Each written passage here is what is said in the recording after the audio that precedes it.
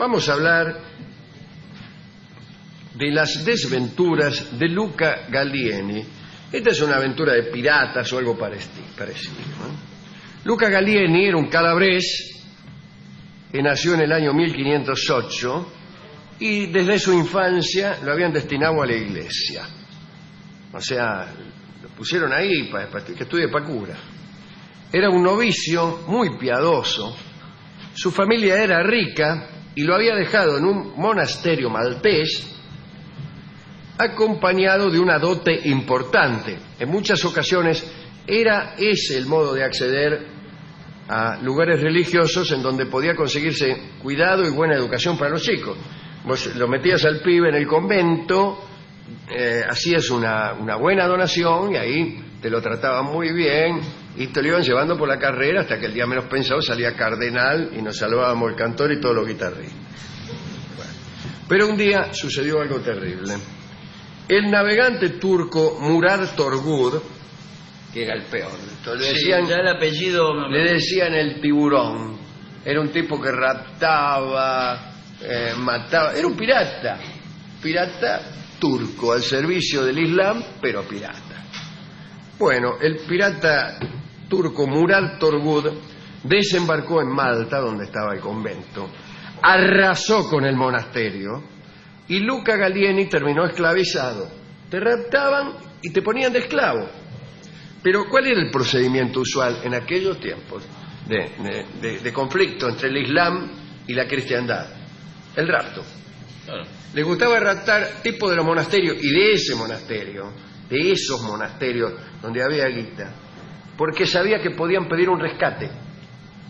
Te raptaban a vos que estabas en un monasterio, los tipos ya sabían que para entrar en ese monasterio tus viejos tenían que poner la tarasca. Entonces pedían un rescate.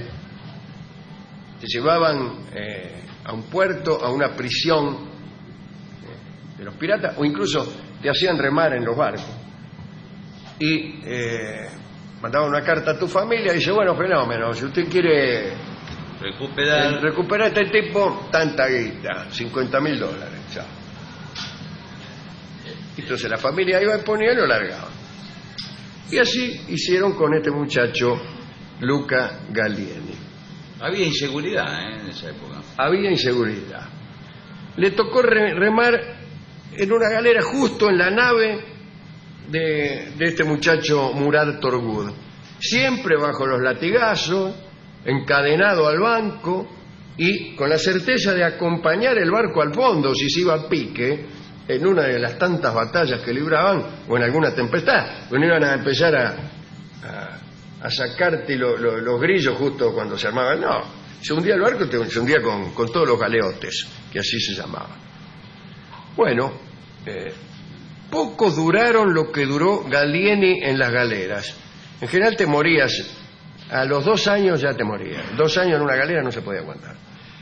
Gallieni duró 14 años remando, rodeado de ratas, metido siempre en el agua pútrida hasta la cintura y con el escorbuto, el beriberi, amenazando, ¿no? La vitaminosis, qué sé yo.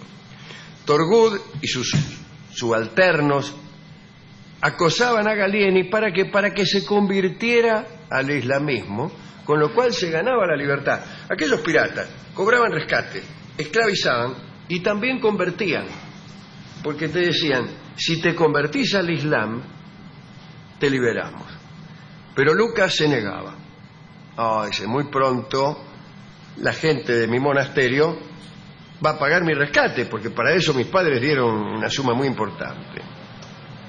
Muy bien, pero el rescate no llegaba eh, hasta que al final supo que no llegaría nunca. Se desengañó y se convirtió al islamismo. Un día le dijo, permiso, no hay otro Dios que Dios y Mahoma es su profeta, que es el modo de convertirse al islamismo. ¿Sí? Bien, basta pronunciar esa frase. Tomó el nombre de Ali el renegado, Ali el Uluji, y con fervor renovado se entregó a la nueva religión. Vio cómo ese uno se convierte y le agarra la famosa fe de los conversos. Convertido en hombre libre, entonces, eh, se hizo él también pirata y guerrero y puso en juego todas las experiencias que había tenido en tantos años de andar en galeras. En ocasión del ataque de Carlos V a Túnez, fue muy valioso, impresionó a los generales, este, propios y enemigos, y vino a convertirse con su nuevo nombre, Ali el Renegado, en uno de los generales más temidos y famosos al servicio del sultán otomano. Ascendió, este, anduvo por todas partes. Por ahí un día se le ocurrió desembarcar en España y ya estaba preparando el desembarco en España cuando lo llamaron a Estambul. El sultán, Selim el Borracho, que Qué era el sultán, lindo. extraordinario ¿no? que le llamaran así, empezaba a temer que aquel marino, Ali el renegado, del que desconfiaba un poco, pudiera hacerse demasiado poderoso. Y entonces Selim ordenó que Ali tuviera expediciones menos importantes. Sí. Eh, y puso sobre él a dos generales que sí eran turcos, no como este, que después de todo era calabrés, eh, para dirigirlo. Se llamaban Lala Mustafa y Ali Bajá. Ali Bajá era cuñado del sultán. Y fue un error, porque esos jefes eran muy crueles. Eh, y realmente tan crueles eran que la cristiandad provocó la unión de la cristiandad contra los otomanos, de tan crueles que eran, ¿no?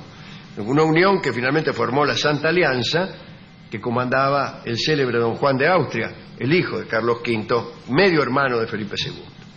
Cuentan que esa unidad llegó después de una terrible matanza en Nicosia y luego de que Mustafa, Lala Mustafa, tomara Famagusta en Chipre. Aquella plaza pertenecía a Venecia, se había rendido bajo la condición de libre salida de todos sus ocupantes. Mustafa no respetó nada e hizo degollar a los soldados, a la población civil, a todo. El comandante veneciano Marco Antonio Bragadino fue desollado en la Plaza Mayor. Señor. Mustafa mandó a rellenar la piel con paja y se la envió al sultán, a Selim el borracho, como obsequio. Mira qué lindo obsequio que le de...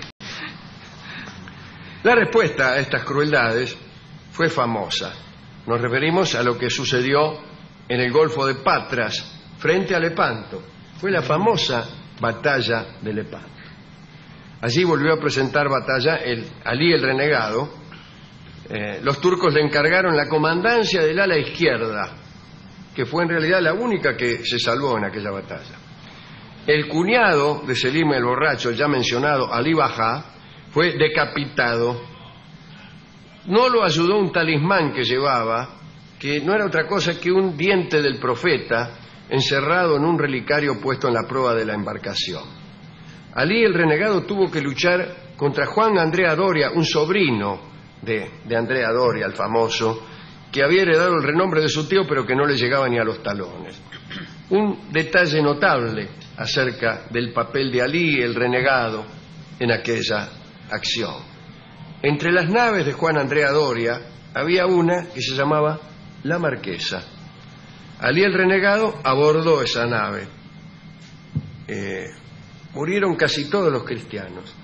Y entre los pocos sobrevivientes había uno con dos disparos en el pecho y una mano mutilada, que no era otro que nuestro amigo, el manco, el manco de Lepanto, don Claro. Miguel, Miguel de Cervantes Saavedra. Después de la destrucción de la marquesa, Ali el renegado escapó. Salvó su flanco, pero la batalla de Lepanto estaba perdida para los turcos. Sus muertos habían sido 30.000, 8.000 los prisioneros, este, 96 las galeras hundidas, 113 las capturadas. Eh, entonces había muchas probabilidades de que cuando llegara a Estambul, con esas noticias y con esos antecedentes, Selina el borracho diera orden de decapitar a, Ali el renegado como uno corresponsable, nada más que por haber sobrevivido, por más que su actuación había sido eh, muy valiente. Pero Ali volvió igual y se presentó ante el sultán. La primera medida del sultán fue horrible. Ordenó una matanza general de todos los españoles, malteses y venecianos que vivieran en el imperio. Todo el imperio otomano. Ali el renegado creyó que le, to- le tocaría ser uno de los muertos, pero para su sorpresa, Selim el borracho lo reivindicó como capitán de su flota y agregó un regalo, un regalo precioso ¿eh? a esa reivindicación. Le dio la posibilidad de visitar el harén de Selim. Es muy raro, ¿eh? Es muy raro que un príncipe le permita a su amigo visitar el harén. Pero esto digo, usted dice, cuando ande con ganas, Pero visitar es visitar o... visitar y utilizar las instalaciones. Bueno, bueno, lo que creí que era caminar por ahí. No, no, señor. Muy bien. Eh, Caminar por ahí, sí. para ser sinceros, eh, debemos decir que hay muchas versiones acerca de cómo murió Ali el renegado. Algunos dicen que lo estrangularon por sospechar que en secreto había vuelto a hacerse cristiano. Otros dicen que lo mató una sobredosis de hashish. Otros dicen que se suicidó, ensombrecido y acosado por las almas de los miles que, él, que habían muerto en Lepanto. Se asegura que vestía totalmente de negro, que se lo veía recluido en su palacio, donde apenas dejaba que se le acercara a nadie. También se ha dicho que las secuelas del escorbuto fueron las causas de su muerte. Pero aquí hemos elegido de tantas una. El fin que más nos gusta para Ali, el renegado, y que todavía no lo hemos dicho. Los anales de 1577 del Palacio Topkapi, que hoy es un museo, dicen que murió asfixiado por los besos de las damas del harén. Ay, qué lindo. Asfixiado por los besos de las damas del harén. Qué linda muerte, ¿no? Hermosa. Pero eh, aquí viene la enseñanza para los niños. Mal adiestrado en amores multitudinarios por su estirpe cristiana, Ali el renegado no pudo resistir el sofocón de las apasionadas mujeres del sultán y no pudo respirar. Madres que escucháis este programa. Bueno, tampoco, van a entrenar a Adiestrad a vuestros hijos en plurales deleites. Punto. Plural. Qué linda muerte. Qué Sí. linda muerte. Y usted ve que les iba a decir, salir encima no es algo que un buen amante haga. Pero parece que no era un buen amante porque no estaba, se pasó todo el tiempo remando, imagínese.